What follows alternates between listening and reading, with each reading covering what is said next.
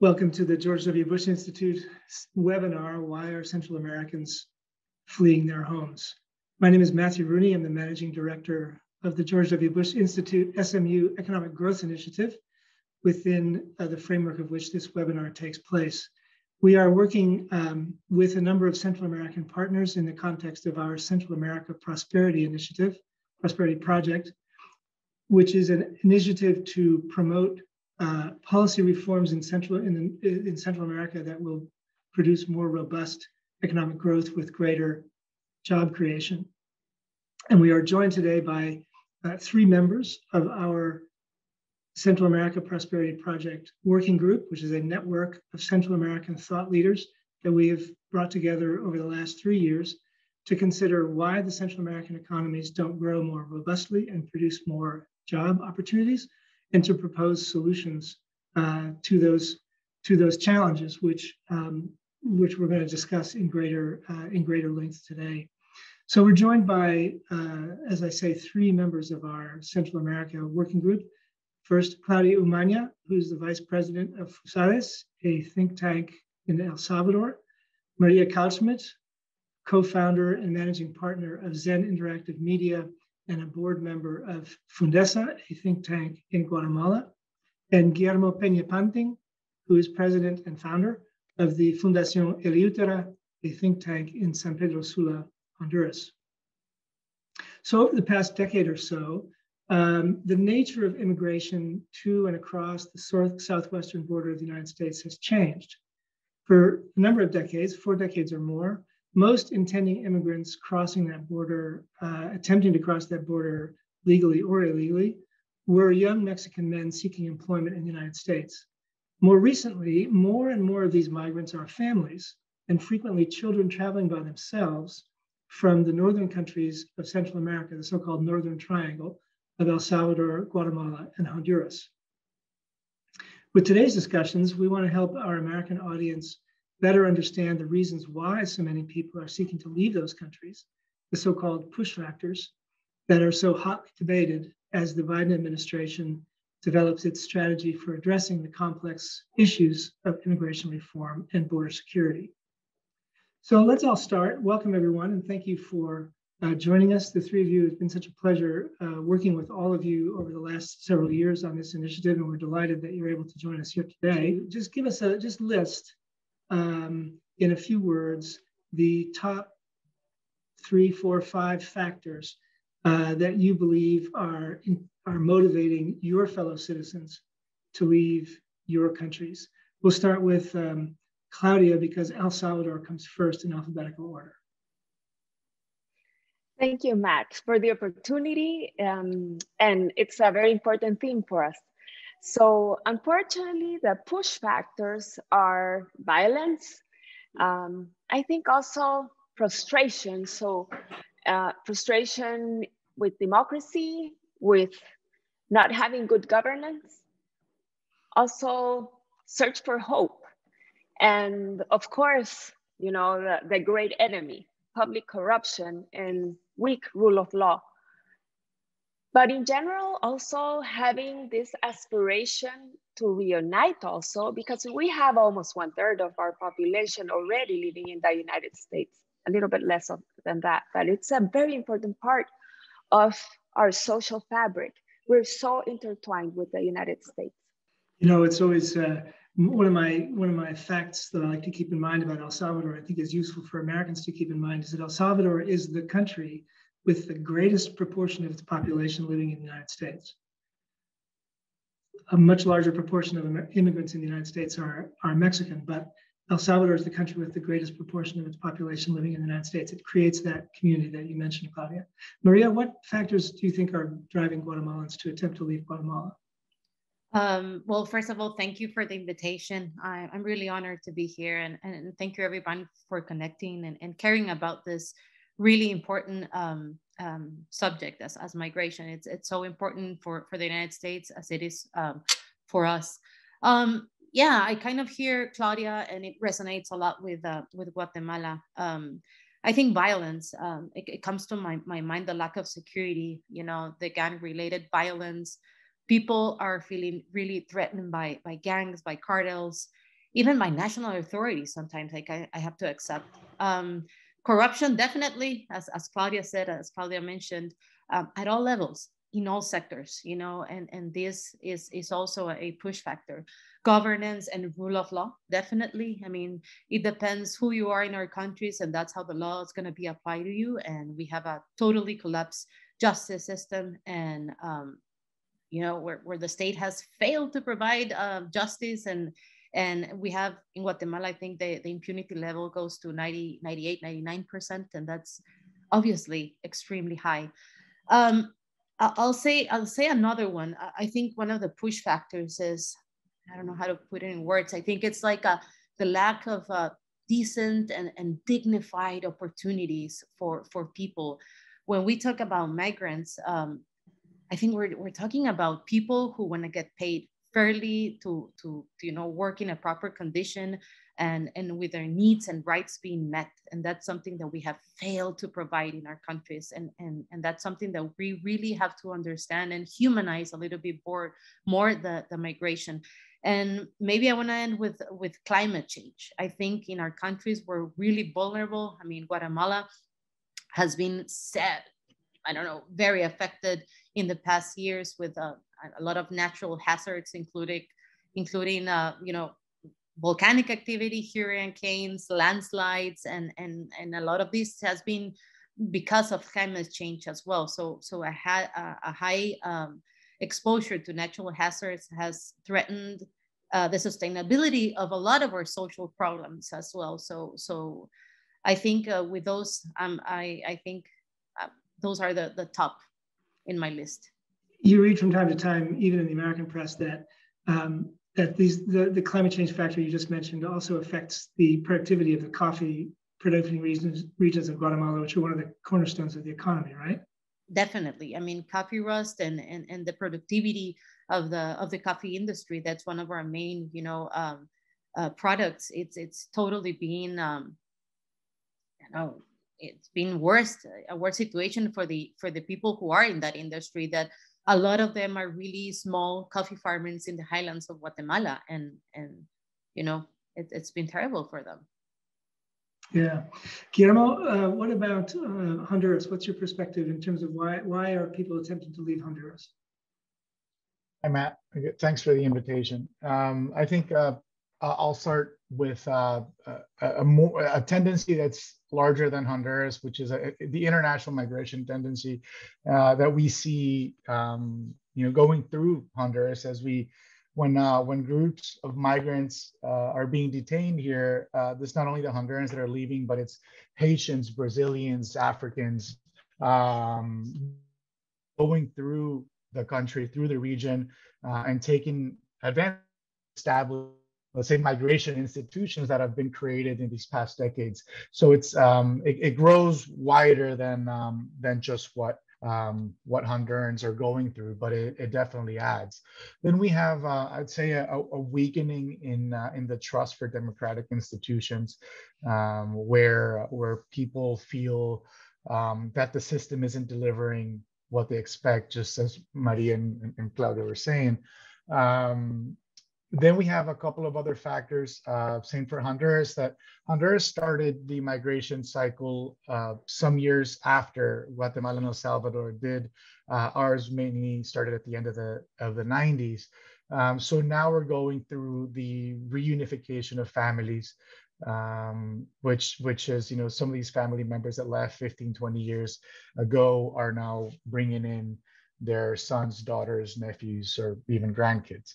Um, have the economic weakness, which basically uh, be said Honduras hasn't hasn't reached a four percent growth uh, in GDP in several years. Uh, for things to get better here, we need to be at least over a seven percent growth for a decade. Um, and then we have uh, an issue that we'll say it's um, highly limited upward social mobility. Uh, and it's the, the lack of hope that if you do things right, uh, you can move up in life.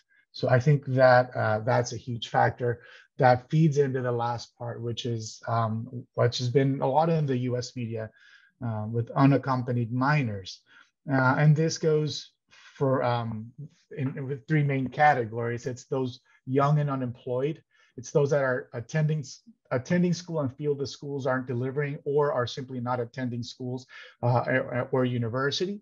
Um, and uh, and then you have those in urban areas which as mentioned before as well, are, are living in the danger of being recruited by these juvenile gangs. That, that sort of compromises um, or, or, or, or, all of these categories live under the unaccompanied minors uh, in migration. Thanks. Are there are there special factors that pertain to San Pedro Sula, where where you live and work, uh, with that are different from Tegucigalpa, or is it is it all, all the same?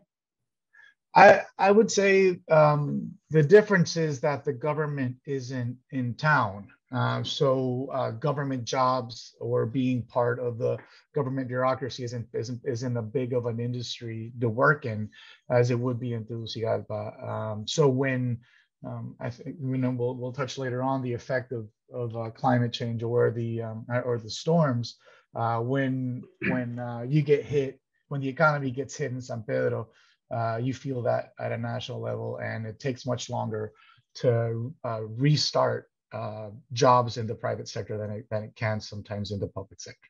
Thanks. So there's a lot of overlap in those in those lists. Um, so let's just go a couple of levels down. One common factor that I heard all three of you mention is a general concern about governance and the rule of law. So talk to us a little bit about what efforts are underway in your country to address uh, these weaknesses and what more might be done. Claudia? Okay, let me let me say that uh, in in the theme of rule of law and good governance, I think that El Salvador is currently backsliding in a very dramatic way. Um, basically, what happened, um, I know that maybe some of you've heard on May the 1st, uh, our president, President Bukele, gained control of the National Assembly Eh, with his super majority in the legislative branch, basically he replaced uh, magistrates of the Supreme Court without um, disregarding, eh, I mean, disregarding constitutional procedures. They also removed the Attorney General and appointed a lawyer with a background that is very, very um, questionable the armed forces right now are under his grip, and so is the national police. So, what you can perceive regarding good governance right now is basically um, that in El Salvador, it isn't about rule of law anymore, but rule of a strong man. And this has uh, very important repercussions because uh, Maria said uh, a little while ago, um, to my, uh, she phrased it in another way. I'm, I'm retaking some words of a Mexican uh, many years ago, saying, to my friends, anything. To my enemies, the power of the law. So I think that right now in El Salvador, that has basically the separation of powers has been eroded in such a dramatic way.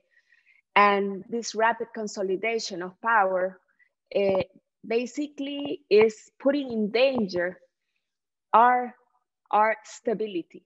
And this could also, in time, not at this moment, create another wave of migration. So I think it is very regrettable also how in a matter of weeks, El Salvador's relationship with the United States has been deteriorating in a very um, dramatic and uh, way, knowing that uh, the United States has been our strategic ally, not only, as I mentioned before, uh, having a very important part of our population living in the United States, but also sending remittances that constitute around 20% of our GDP. But I would like to go back on some of these themes. Um, before I, I, um, not, I stop talking, I just wanted to comment on something that someone mentioned. And what does literacy mean? And I think that also this culture of rule abiding citizens, you know, that people that the rule of law is an important part of our daily lives. I think that we've had a very problematic way in the sense that in our countries, I don't think we've done a good job um, with education on civic values. What does it mean to be a Salvadorian? What should we expect of our public figures? And unfortunately, um, transparency, good governance, um, accountability have not been in the mix. Thank you. Uh, Maria, what, what, what, what kinds of things are Guatemalans doing to try to address the issues of, of, uh, of weak rule of law and governance? And what, what more do you think could be done? Well, um, I have to say, as Claudia, that in Guatemala, we've, we've also backlashed for, for, for this, you know, such an important thing in our, eh, in our reality. I mean, we, we came um, from, from having a, a of, of having right now, you know, a, a very deficient government in terms of, of, of you know, fighting uh, impunity. Um, what happened is in, in, in 2000, just for the people that, that, that are not very familiar with this, uh, in 2006, I think, um, you know, the United Nations and Guatemala government uh, agreed to create this special commission um, to fight uh, impunity and corruption. Uh, for its signals in Spanish, it's called CICIG, it was called CICIG. The commission was a totally independent body without checks and balances. And that's something that we really have to learn from this from from, what happened in, guatemala in the last years. Um, this unity the special unity work really closely with uh, guatemalan prosecutors especially with this uh, office called la fesi which is an, a unity specializing um, in terms of impunity to, to, to fight impunity and corruption. And um, last government uh, under president morales presidency uh, they decided not to extend the mandate and to cease the commission's operations. I think it was September of 2019, yeah, just right before you know the pandemic. Um, so so what happened afterwards? I mean, uh, you know, La FESI is still one of the few institutions uh, in the country that has been continuing with the mission uh, of the now gone CICIG. Uh, but we really have to admit that when CICIG was part of our of our system, they, I mean, there was like I don't know what's like 60 uh, corruption uh, schemes were exposed, you know, implicating officials in all uh, in all the government. And, and, and promoting the resignations of a lot of ministers for the first time. Uh, I mean, we had a, a president and a vice president arrested and and why do i mention this is it's because it really sounds like an fbi cia movie for us. This has never happened in guatemala before. And and, and in the region it was one of a one of a kind effort anti-corruption anti um, impunity uh, type of operation and this brought a lot of unity at the beginning and, and we have to admit that you know everybody was so amazed of what was happening. Uh, the eyes all over the world were on us and that's something that we can actually feel proud of. Um, but then uh, you know at the same time um, it became a, such a polarized conversation that you either you were you know a pro-CICIG uh, or you were against um, me or because uh, in the other end you were a a, a, a or you were not an anti-corruption person. So uh, you know i'm not going to get in the subject if i if i was pro or not uh, because of that because i think it, it's it's a it's a great situation that that really we had a lot of learnings that we are not putting in practice uh, definitely. Um, so uh, you know the, the FESI right now is it's by itself. It's not an independent organ. I mean it's it's it's a unity under under the minister ministry of, of governments but it has like a special capacities and they've been trying to do the best they can i mean to to to keep on fighting with the anti-corruption especially inside our, our corrupted system uh, but meanwhile, you know, th- those efforts are not enough. I mean, drug trafficking has grown significantly in the country in the past um, in the past year. Um, I mean, pandemia was was very important for for drug traffickers, and again, it's not a matter of of CICIG or or FESI or, or this current government. I think it's it's it's a matter of i personally think it's it's just a matter that institutions are are not strong or capable right now enough to face the backlash of those being involved.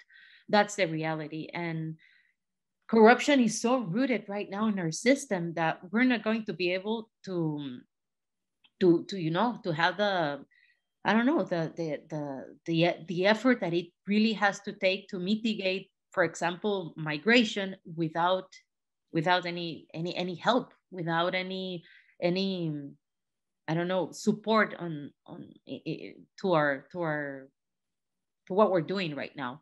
Um how our institutions can fight corruption i mean drug trafficking and impunity were i mean those three things are part of our system itself. That's that's we have to be honest with ourselves if we really have the capabilities. It doesn't matter who who is in charge right now uh, of taking the, the really important decisions in our country because it's so rooted that i mean whatever plan you have whatever effort you want to make um, it, it's going to be a really difficult one because uh, you know it's it's it's really the organized crime is really organized inside our system and our institutions. And and that's where i don't think we're we're capable enough to to keep on fighting. That that's a real truth right now in, in, in guatemala yeah, I'm sorry to hear that. I saw the demise of CICIG take place over the course of two years, and um, I understand the factors that led to that process, but it was unfortunate uh, uh, to to uh, to see that happen. Uh, Guillermo, what about Honduras? What what efforts are taking place in Honduras to try to address the governance issues, and and what more could be done? Well, I think Honduras, like a lot of Latin America, suffers from the um, the the caudillo disease. You know, the we want a strong man, we want a strong leader to fix all of our problems, um, and uh, then when we have that person in power, it's uh, it's easier for them to concentrate power, um, and then we go through the problem of how do we uh, decentralize that power once it's done. Um, and and I think that's that's one of the cycles that um, our region constantly falls into. And in our case, we are um, sort of at the at the end of a cycle, at least on a downturn of the of the Caudillo cycle, um, where where uh, the campaigns in the you know in the last three four campaigns, it was the strong man who was um, promoted uh, or, or, trying to win the campaigns. And in fact, that's what the population voted um, in most cases. So uh, that fed into the political system to concentrate power. So we saw that. Um, now, um, we, you know, I, I, do want to mention that um, um, the Guatemala City, San Salvador, are out of that top 50 most dangerous cities index um, this year, and uh, and San Pedro Sula and Tegucigalpa are now in the mid 30s. Uh, after so Tegucigalpa and San Pedro were in the top five, top 10 for many years. Now we're uh, we're in the late 30s, uh, and hopefully we'll be out of that index um, with both Guatemala and, and San Salvador by next year or the year after, which that in that side it says you know things are better the homicide rates are much better than they were some years ago when uh, when it was complete chaos. Uh, and that sort of went with the um, with the the path that uh, honduras has moved ahead with extraditions uh, for those that were uncontrolled crime bosses. Um, and and in this case honduras has moved um, about 25 hondurans uh, or um, foreign nationals have been extradited to the US. And this includes not only uh, cartel leaders, but also politicians and also national police members. Um, so this feeds into how the structure, the crime structure in the country was well established.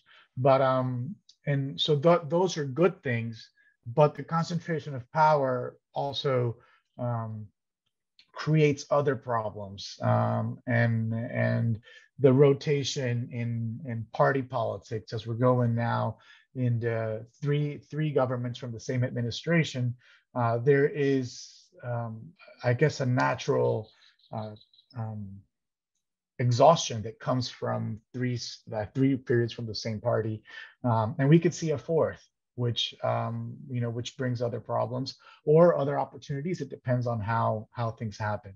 Um, but I think that building trust in the judicial system, as we know, takes a very long time. And the problem is with populations with high poverty is that patience is not something that exists um, when you're when you're considering that you're going to make bring food to the table, uh, you know, for this week or for this month, uh, you have a really hard time of accepting a, a, process that can take 10, 15 years to gain trust um, in, in the judicial system.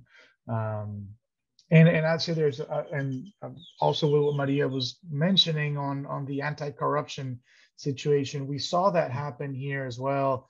Um, but we have to be careful on not turning it into a, you know, semi-religion behavior where we start uh, just doing, you know, just having witch hunts all over the place. Um, and because that just brings less trust to the system, less trust within within society, um, and that and and um, when we, I think Honduras at least is at a level of uh, lack of trust that our only hope, or many people's hope, is that justice will come from abroad. Um, and and if if we only expect justice to come from abroad, we have a very very serious local uh, problem locally, which and uh, the best uh, judicial system and the best justice is the one that's brought by uh, your local government or your local, you know, you're within the city, um, not at the national level, and definitely not coming in from abroad which just says that your system has failed. So I think the work needs to be done in into bringing that trust back into our um, judicial and prosecution institutions um, to be able to to have these um, you know move move from the extradition to doing local trials that you can trust uh, and believe that um, that should that should move our institutions and our trust in, in society a long way. Thanks for all those comments. So I want to uh, invite our listeners uh, as you follow along in the conversation to be thinking about additional questions that you'd like to ask of our panelists. We'll turn to those in just a few moments. Feel free to uh, enter those into the chat and, uh, and we'll get to as many as, uh, as time permits. So all of you have commented on the challenges in the government's governance area that your countries face and the efforts that uh, are underway to try to address those challenges. One thing that has been so uh, heartening and encouraging in working with you and the rest of our Central America Prosperity Project network over the last couple of years is your commitment to your countries and your efforts. Uh, I know uh, Fundesa Fusades and, and Fundación Eléutera, each in, in your different ways, are committed to uh, overcoming these weaknesses and, and proposing and implementing solutions. And so I congratulate you all on that and thank you for, for that commitment. Let me turn to another one of the common factors that all of you cited, and that is the lack of economic opportunity, and particularly for young people who are emerging from schools and training and finding inadequate job opportunities. Um, talk a little bit about what your countries are doing to foster more robust job creation uh, and what else might be done. Claudia? Yes. Um, so I have a story to tell you a, a bad one and a good one. So I'll start with the bad one. I met this um, this very, you know, this guy full of life with a beautiful smile. Um, he was raised in our beachfront by a father that took care of a property. And so he was a great surfer, and his father gave him a great education. He became a computer engineer. One day I go back to the beach and I didn't find Jonathan and I asked what had happened to him. So the gangs had tried to reclude him. He was so afraid because he was told that they would follow him and he didn't want to go home. It took him a while, but basically he went to live to the United States. He walked all the way from El Salvador to the United States. And can you imagine that this guy that was a computer engineer right now is working at building homes somewhere in the in the west coast so i believe that if we don't do something we're just having a lose-lose situation because we're losing good Salvadorians that could be staying here. And this is where I connected with the happy story. Um, so, well, FUSADES is uh, a very big think tank and we keep doing studies and, and what can we do to promote um, you know prosperity economic growth um, and we uh, in fact because uh, with the bush institute we have been really searching what can we do to enhance the digital agenda. So i had uh, the opportunity to go and search around what we were doing regarding government but also private sector. And I met um, this company uh, representatives, Applaudo Studio, which I think it's a very, um, you know, it's it's a case of, of hoping. What they do is that they build tech solutions. And right now they're doing mobile applications, let's say for, for the NBA, for the Miami Heats, for, I mean, and so they're nearshoring um, selling Salvadorian services to companies abroad. So they have already been investing uh, with Kodigo, it's another company, $1.5 million in programming training. Right now, they've trained 1,500 Salvadorians, and they will be very eligible for the job market. But the good part is that they don't have to go anywhere they can work from their computers in their homes, not having to leave our country.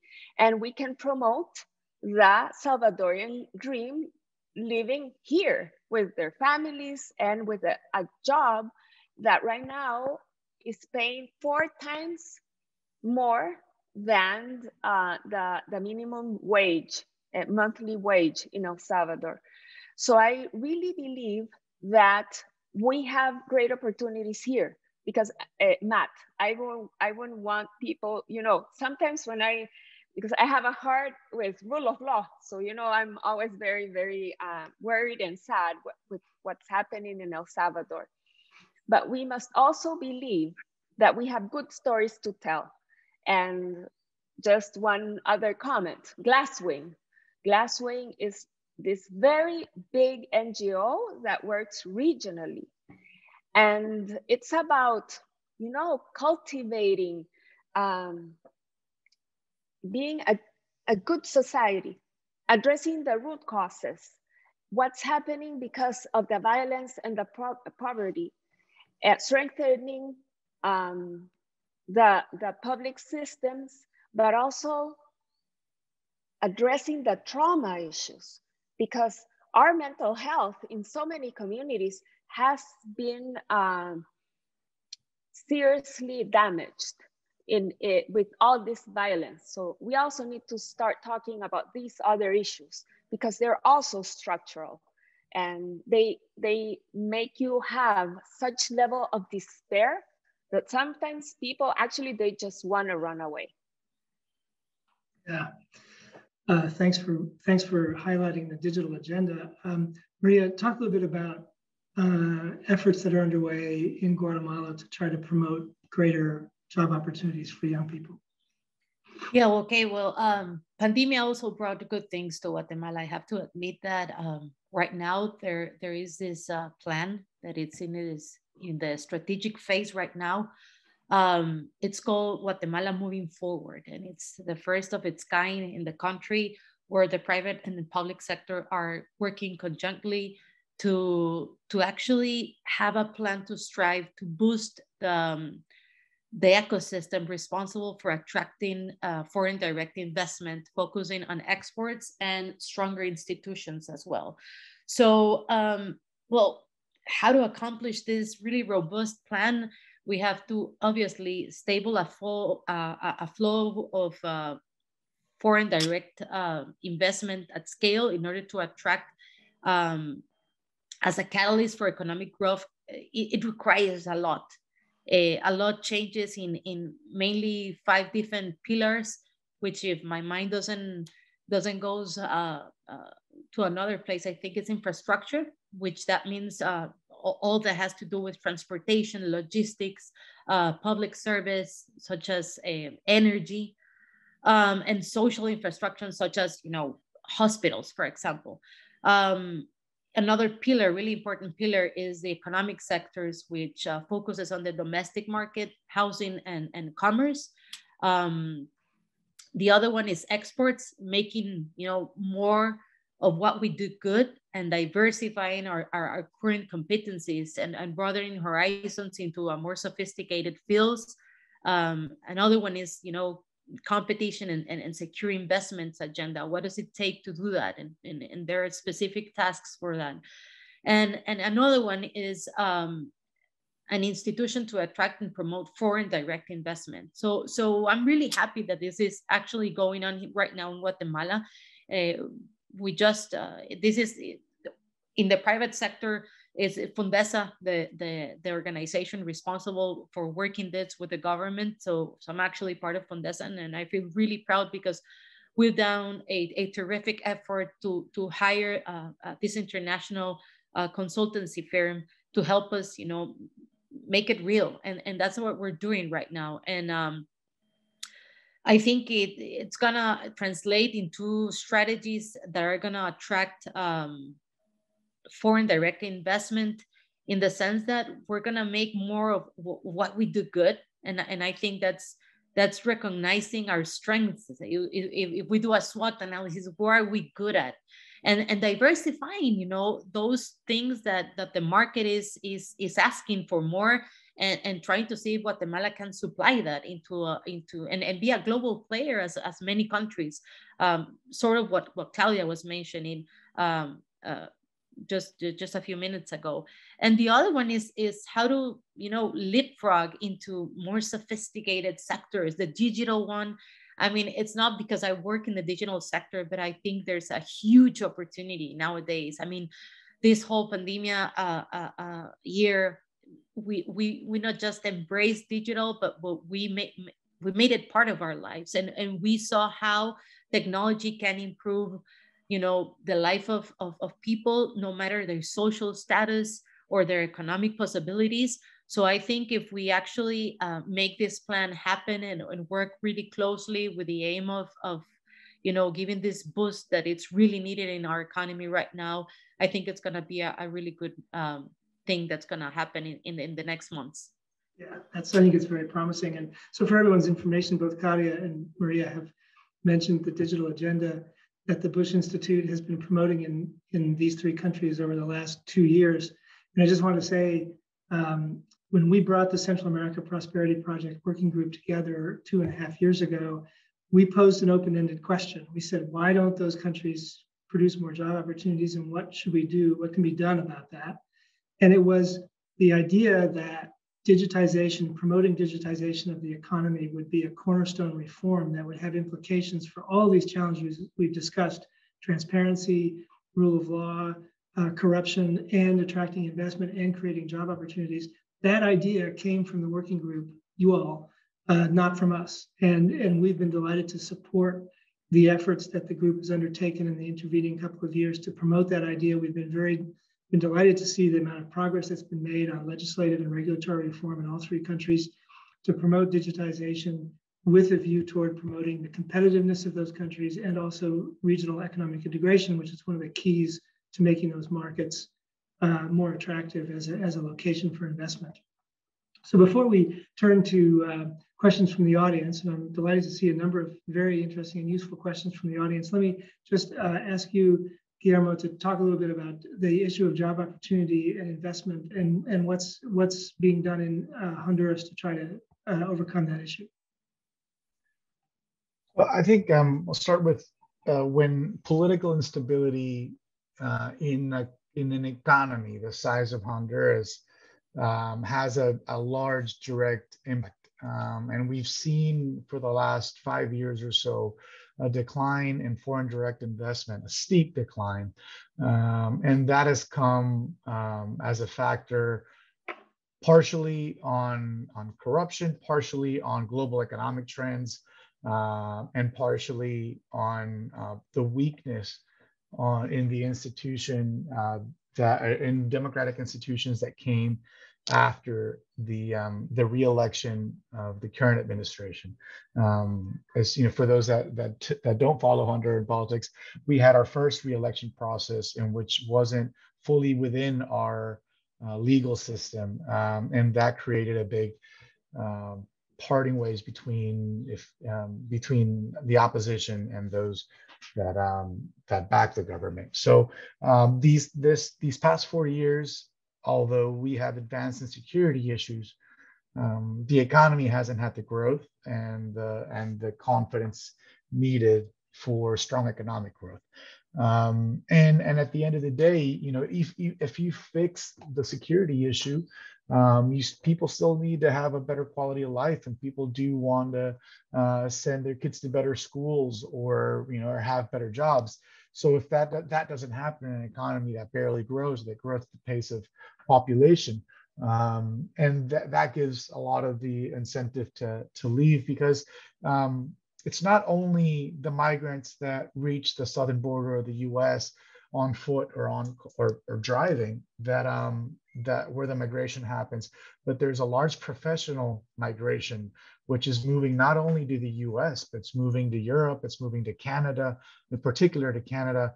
Um, is, is where the uh, professional migration is heading to because of, of um, uh, migration policy that the U.S. sorry that Canada has uh, different than the U.S. for for professionals.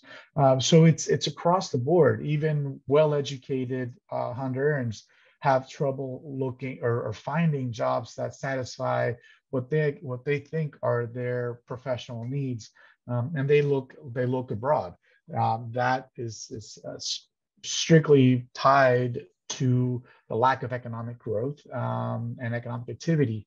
So it's um, it's not only it's the secure saying security is the cause um, is an oversimplification of the problem, but it's one that really uh, the the U.S. media picks up the the most.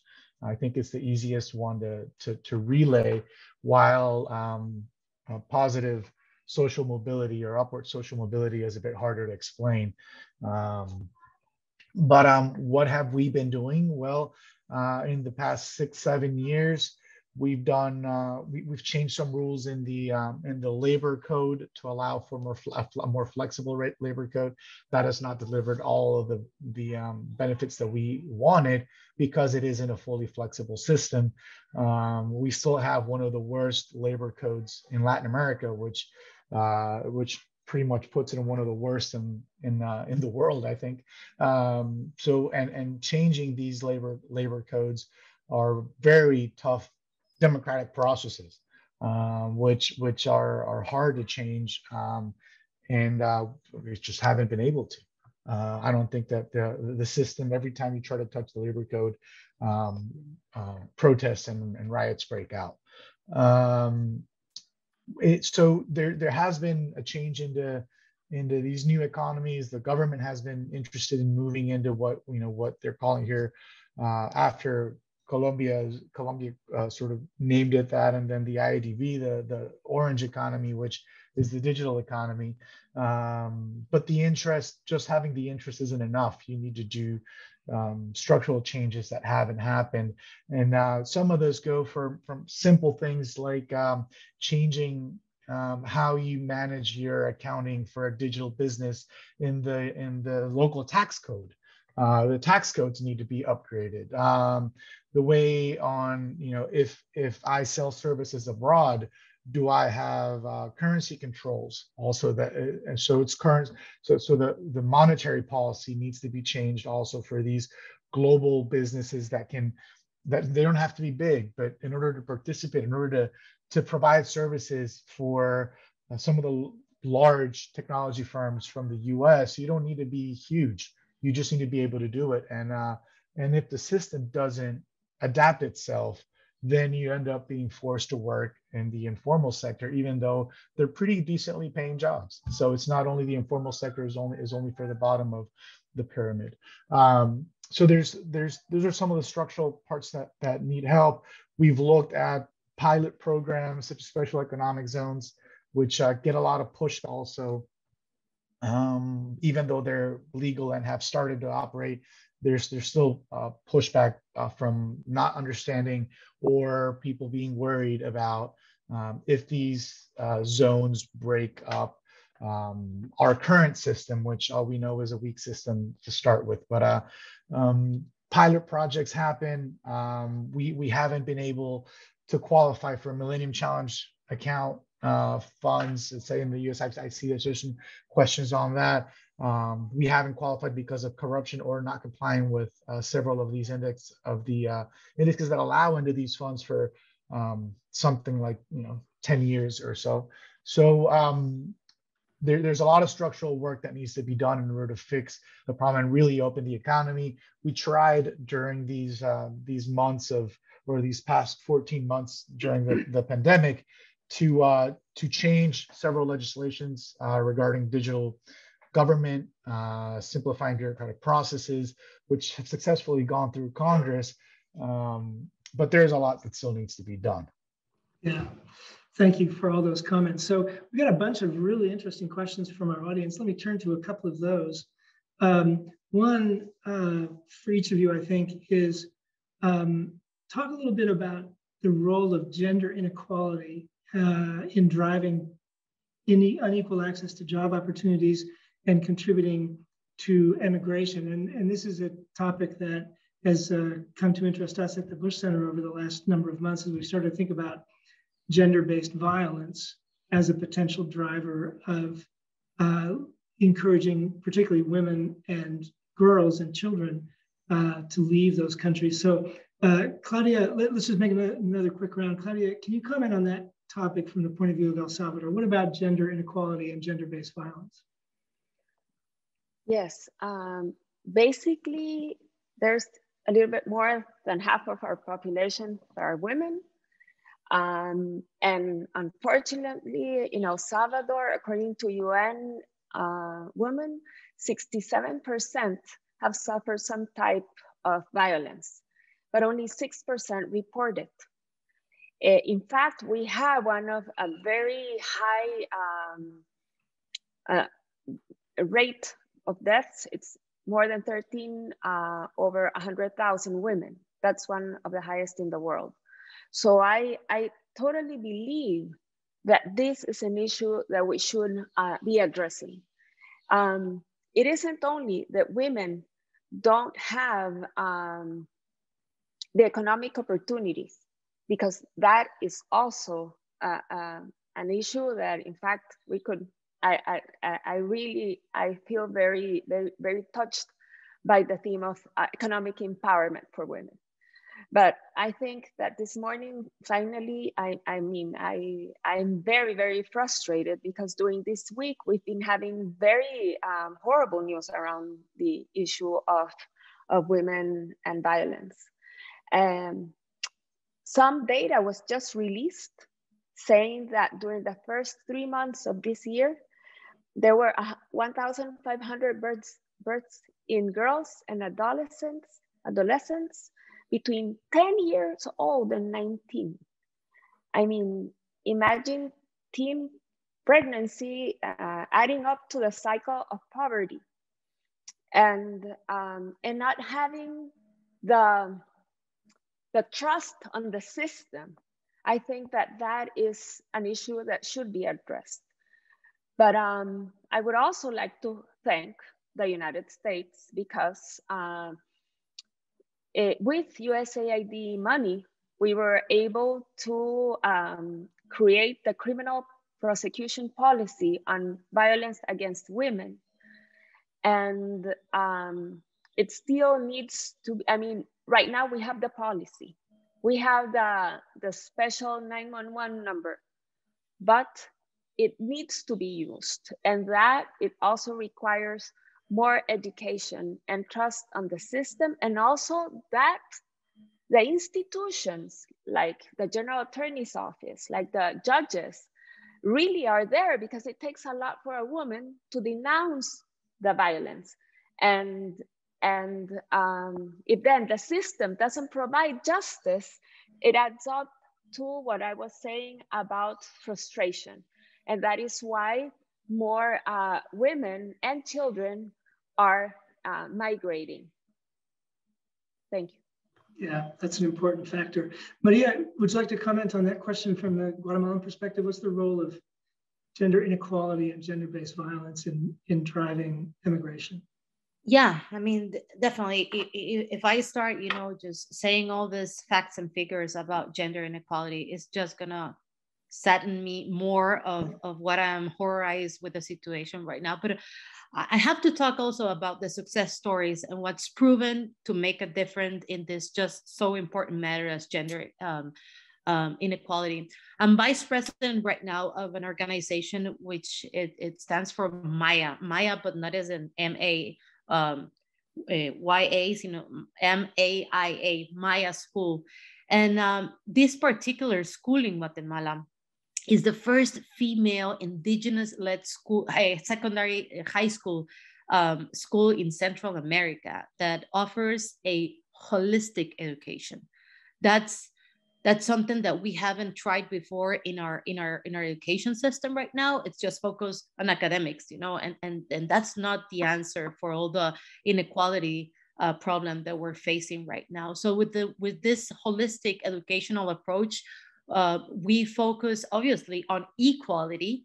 Um, at the same time that we focus on academics, we focus also in culture and identity, on socioeconomic, also say emotional uh, development, on family engagement, on the community of the girl, you know, on a lot of other things that we haven't had the chance to incorporate it in our national um, education system. So these girls, we call them pioneer girls. Their their first language is their native um, language. Their second language is Spanish or English, and and that's a capability that it's you know it's really helping them to you know I mean take advantage of a lot of so many opportunities that girls are, are not being able to, to, to take advantage before just because they're limited to, education that their families eh, you know can can afford to them just for the sake that that they're really vulnerable eh, families. You know i talked to you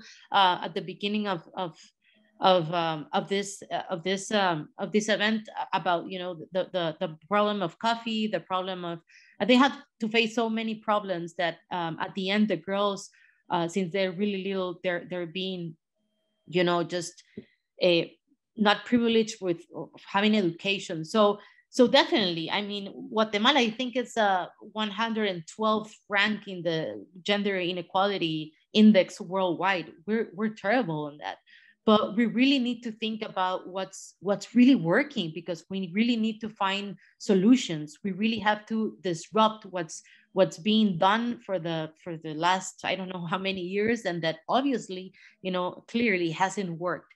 So so yeah i mean we have also good stories about programs and and and organizations that are giving a lot of hope to to many guatemalans and an example for what has to be done as well Thank you. That's that's a great uh, initiative, the MAIA School. I appreciate you bringing it forward. That's a wonderful uh, kind of indigenous initiative. So we're approaching the bottom of the hour, uh, and we want to we want to end promptly at 12:30 out of respect for our listeners' time. We appreciate everybody's attention. Guillermo, let me give you a, an opportunity to to comment on the gender inequality, gender-based violence issue with the, from the perspective of Honduras, and then we'll turn to a final round. Well, I think the, the, the case is very similar as, as in Guatemala and El Salvador um, within regarding gender-based uh, violence and, and inequality in the in the uh, workforce. Um, but I would, you know, I think it, you know when when we just break it under um, gender, I think we, we we we go away from probably which is the biggest problem in Honduras, which we're going under the our main population boom right now, um, and we have we're at the point where we have the largest young popul of working age population in the country that we will ever ever have, uh, and we're losing it uh, on migration, on lack of hope, on violence. Um, or just because they're not inserted into the formal market. Um, so when we when we have that large section of 15 to 35 uh, boys and girls, men and women uh, that do not have a place a, a place in the economy where they feel happy that's also where we see the largest unemployment part of, of the population. And that's and that's very close to the same percentage that we see um, so 70% of that population the 15 to 35 is unemployed or doesn't have a full-time um, uh, uh income opportunity um, but that's also very close to the number of 70% of, of, uh, of the migrant population reaching the US is also between 15 and 35. Uh, so we're, we're missing a, a, large population that's just leaving right now that should be um, should be helping to boost the economy, similar to what happened in Korea when they had their population boom.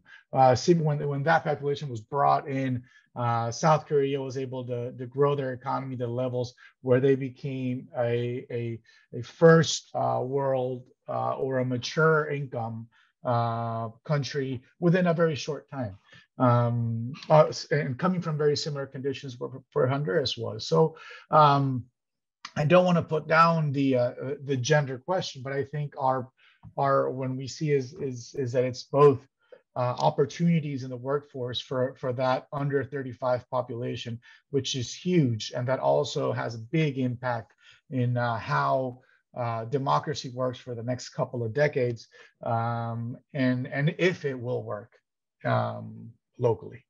Yeah, I think I appreciate you bringing forward the demographic point because I think that's a, an underlying push factor. This, the, in all three countries are experiencing sort of a, a, broadening demographic, an expanding demographic uh, uh, base, which I think drives a lot of uh, a lot of that force for migration.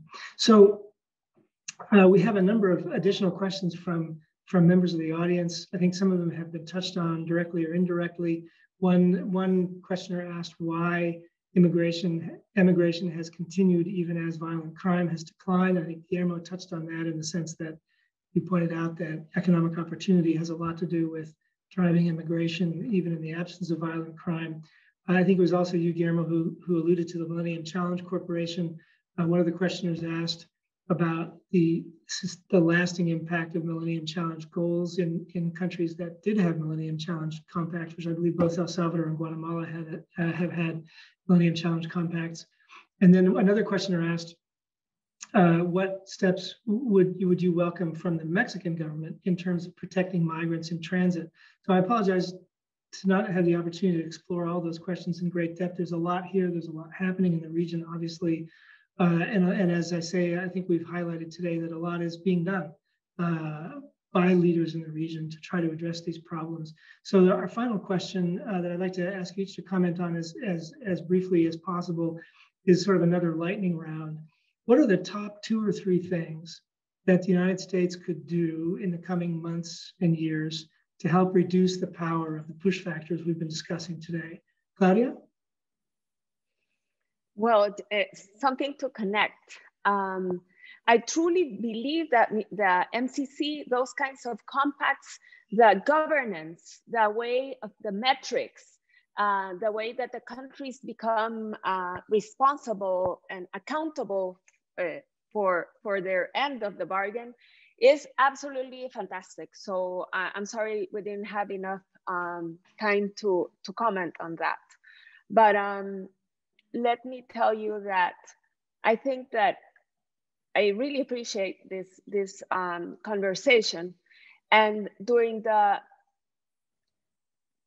my last words, I would say that I want to use this moment just to say that no matter what El Salvador does with its government, um, the common vision that we've had with the United States, the, the commitment to values, to principles, to democracy, to rule of law, to transparency, that no country like China or Russia can never, can never um, substitute. So what I really want to say is keep believing in our country. Um, there's a lot of great people that we're a, a, lot of great people that I know, and we're trying to make democracy and prosperity work in our country. So just don't um, don't forget about us. Thank you, Claudia. Uh, Maria?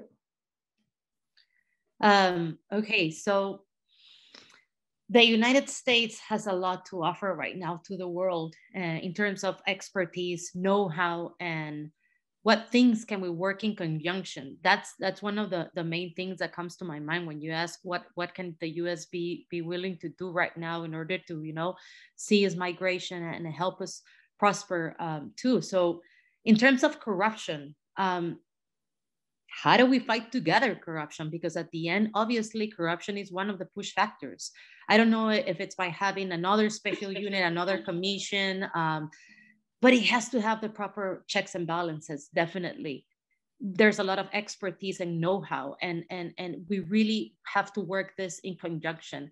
It's not, you know, as I told you before, our institutions, uh, you know, corruption is in the heart of our institutions. So, so we cannot do this by ourselves. How can we reform our prison system? You, the US has so much experience in, in having these prisons as, as the way they should be. Um, and I'm a millennial, come on, I have to talk about the, the digital world as well. Um, how do we digitalize, digitalize more our institutions? How can we uh, work in a digital strategy that make us more competitive how how can more guatemalans speak english in order to you know to have more developers more uh, more of these capabilities that we need in this new century definitely that's something that the us can give can can can give us uh, how can we embrace technology to not, not to change or to to to to i don't know we have to have to think in a different approach how can we disrupt that's the word the educational and the health system with technology. And I think the US has a lot on that. Um, instead of keep fighting it, the same thing with with you know with drug trafficking that it's another push factor and another corruption problem that we have. Um, the U.S. has a lot of expertise and know-how in that, and we have really to work in a different approach to it. And when I say a different approach, it means not only the supply, but definitely, I mean also the demand. Um, we have to accept that what we've done it, it, it hasn't had you know many changes whatsoever. Narcos have more power in some of our our countries more than than even local authorities. So if we don't approach this problem in a two-way situation um, it's it's not gonna it's not gonna change. I, I believe that that sending the fish sending aid um, obviously it helps a little bit but it, but it's it's never gonna really help with the with the root causes. I'm a true believer that you have to you know train people how to fish but also supervise and give the best tips. Um, and then you know build a factory of, of, of fish um, together i mean that's that's my main conclusion thank you maria so we're past the bottom of the hour guillermo final thoughts Sure. Uh, well, thanks, Matt. Um, I'd say that um, if if possible, we need to clear signals from the U.S. Uh, regarding our um, election cycles. Sometimes we, uh, you know, we don't really know where things stand. I think that creates confusion. Uh, one of those is uh, the false expectations that came from the change in administration uh, in the U.S., uh, where local the um, local migration industry said, uh, oh, well, you know, go now because the borders are open now with the new administration. That has been something that has been um, sounding a lot here with uh, the migration community, which we know that's not necessarily true. So um, maybe clarifying on, on migration signals on what is true and what isn't, um, that should be um, a, a, top priority. And I would say in a, for a specific economic sector, I would invite energy companies and, and investment uh, to look into our new energy market since um, ele electricity is one of the main competitive factors for economic growth.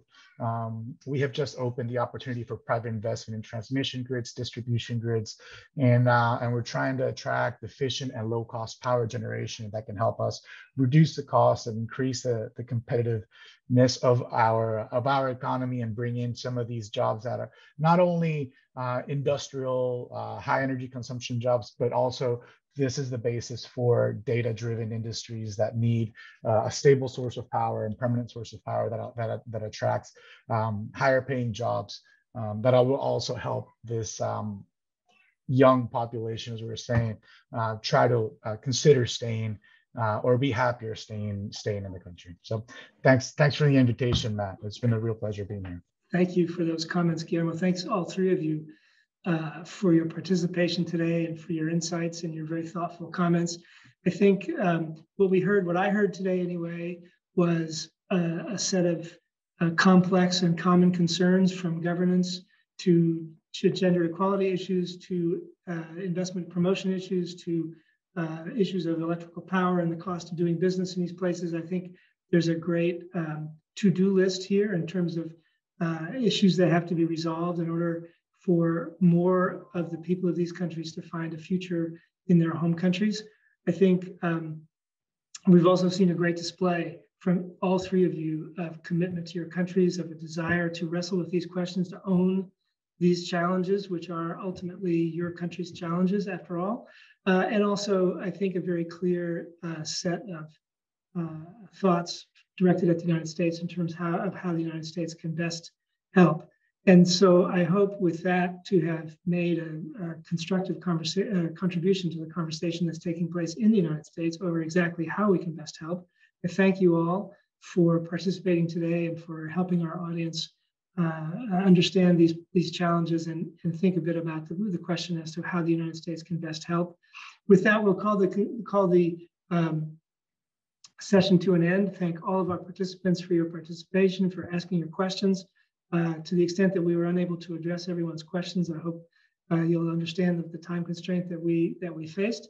Uh, follow-up questions or concerns, don't hesitate to go to the Bush Center website uh, and and send us a send us a note or an email.